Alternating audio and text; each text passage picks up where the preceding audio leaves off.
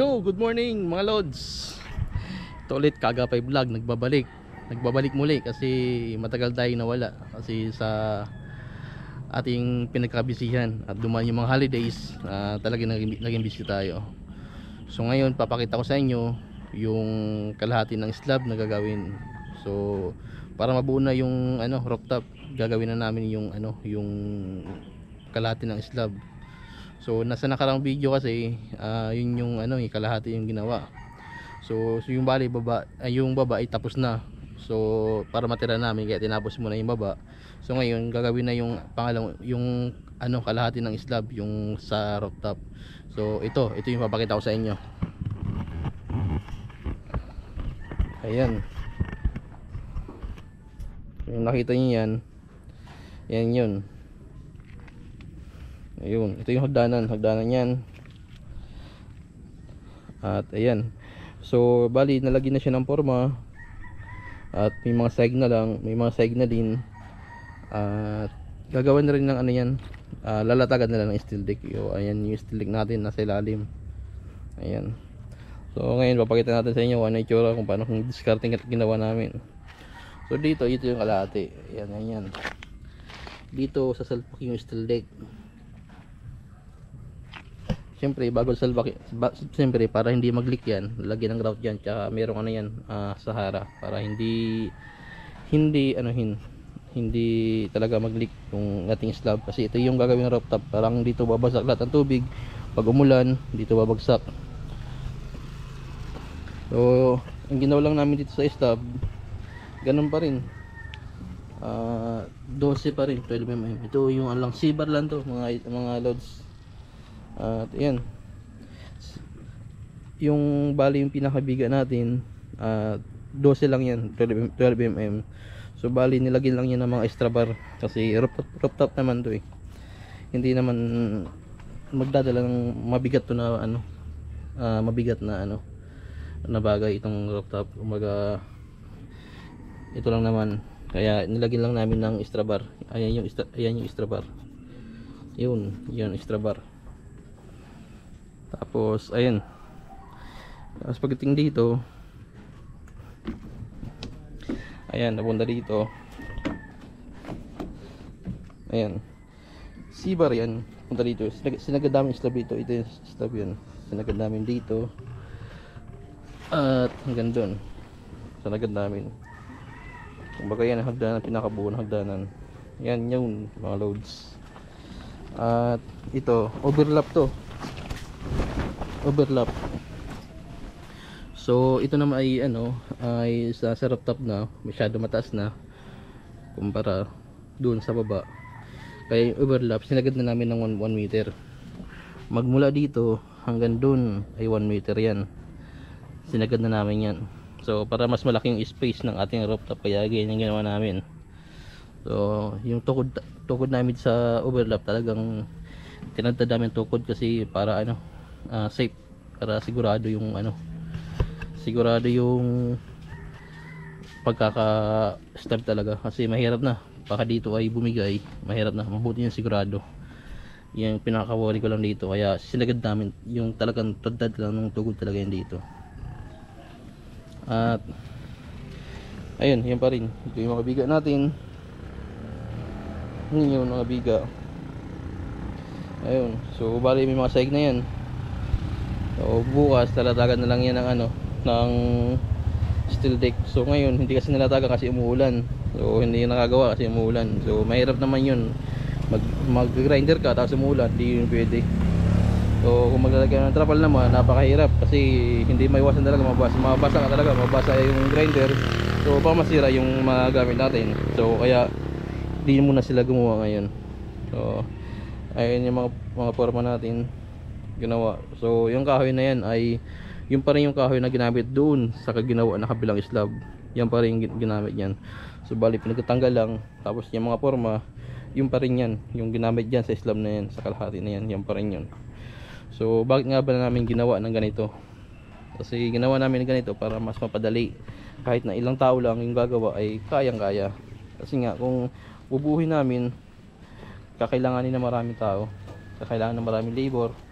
So ayun, Kaya pag-decision namin na itong gawin.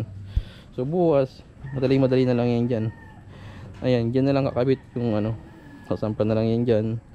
Yung steel deck hanggang dito. Ayan dyan, sampat na lang yan dyan. Tapos ayun, tapos ayan, dyan na mismo naghahalo. Kung baga galing, galing sa baba, yung materialis, iakit dito, ay yung kalo namin, malaking kahoy na yun, yung kalo na, namin, dyan na mag maghahalo. O, hindi na mahirap. So, bid dito, mayroon ng mga buhangin, graba na naiakit. Yung, yung mga nat- natira, yung nakala. Kaya, inakit na dito sa taas. So, imagine nyo, kung mahirap ba o hindi, yung ginawa namin. Kung sablay ba o hindi, yung ginawa namin. So, para sa akin, okay goods naman yung, ano, na nagawa na ganito ganito style na pag slab so ayan lang ayan lang mga loads yung mga ginawa namin. O lahat din natin ito mga loads yun. Pansin nyo yung mga bakal yung mga bakal yan oh. yung mga abang na yan nakaabang na yan mga bakal na yan. Ito nakaabang na yan. Kaunting materialis na lang to mga loads at ayun mga talagang finish natin yung ano natin yung pinakataas. So ito ang gagawin namin dito hindi namin to ano hindi namin to i ah, hindi namin to puputulin na pinakagitna na ano mga, mga sobra na sa poste. At ayan hindi yan puputulin yan. Gagawin namin gagawin namin yan ng ano panibagong poste na mga siguro mga 2 meters siguro pwede na yun or 1 and a half meters pwede na siguro yun at ito hindi namin ito lagyan ng poste so gagawin namin dito babalakuin namin. Babalakuin namin hanggang dun hanggang dito hanggang di sa slab. Babalakuin namin yan dito. Punta di ng mano lang to ah, yung mailibing lang ng kahit kahit, kahit na unti lang. Basta yun hindi lang makita. Kasi ang pangit naman tingnan kung sa, sa gitna may poste. Di ba? Ang pangit naman tingnan kung sa gitna may poste. Kaya ang gagawin namin diyan ah ito. Ibabalik natin namin yan pakain pakain namin sa slab ng kahit mga yung kusa lang na makain ng slab para hindi lang makita yung bakal na yan. So anong purpose namin? Bakit namin hindi ano yan? Hindi ah hindi namin puputulin. So kasi may instances sa pag dumating yung panahon di natin masabi ah sakali pag palagyan natin ng third floor meron naka ready na ano na, na bakal para sa paglagay ng poste. So mahirap kasi pag pinuto natin to. Pag pinuto lang talaga, to so matik na yun. Tanggap, tanggap na natin na ano na yun na yung mismong yung bahay ng design. So kung lang naman yan di, di natin masabi yung panahon at yung oras na darating kung anong mangyayari. So malay nyo uh, mapagawa ulit natin yung third floor. So kaya gawin namin dito babalikwin lang namin babalikwin lang so yan ang mga ginamit namin dyan sa pangsay 2x2 po yan 2x2 so ayan tapos na po lahat yan bali sasaygan na lang yun ang steel deck so steel deck natin dito ay saktong sakto lang po itong steel deck natin ah Mm, walang kulang, walang labis. Saktong sakto lang po yung stick natin yan. So, kasi yung sobrang yan, palagay dun sa uh, overlap. So, kaya yun, sakto sakto lang.